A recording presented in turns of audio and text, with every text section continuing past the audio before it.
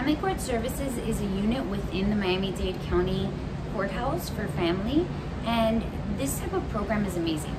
If you're having issues with either co-parenting or with the other parent or even with your spouse and you want to try to work it out together, this is the perfect place to start. So if you're initiating an action with, with the court, it has to be in Miami-Dade, then you can ask the court for a referral to this uh, Family Court Services unit. They handle things from alienation, co-parenting, uh, reunification, supervised time sharing, communication between the parties.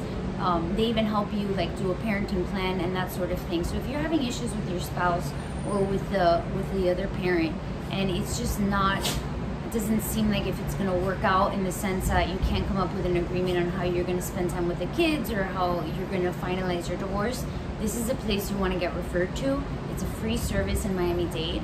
Of course, our firm is not in any way affiliated with um, Family Court Services, but we do try to get as many cases that, that may qualify, or you know, in cases that do have issues, we do request court to have a referral to this to this unit.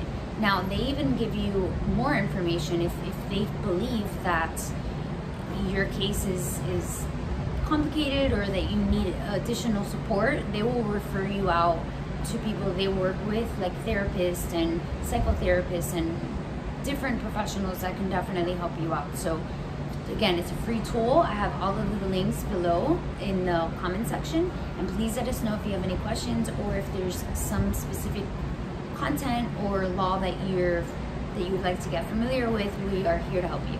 Thanks.